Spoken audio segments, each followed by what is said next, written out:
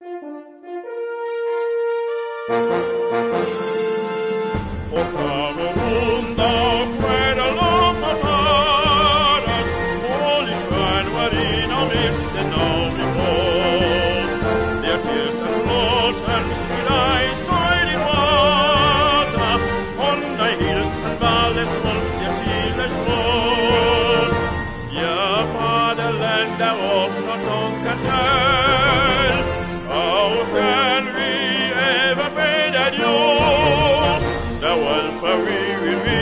joy alone.